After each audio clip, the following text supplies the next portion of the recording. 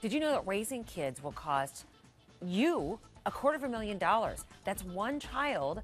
And Jennifer notes that's not including some fancy smancy college. In fact, that's not including that higher education at all. Good morning. Yeah. That's the official cost estimate from the USDA. Let's just I don't know it. why the USDA. Who knew the USDA was telling this How stuff, much do those you know? children eat? That's what 100% expected. real beef? What are they? I don't know. but, look, yeah, a quarter of a million dollars, and it's up 2%, which that isn't much, at least, compared to last year. The number can really vary depending on where you live, and a lot of that, the USDA says, has to do with how much it costs to have your little one looked after that special time before school starts. Yes, it's great to have two little ones. Any of you moms, I'm sure, can relate, and dads.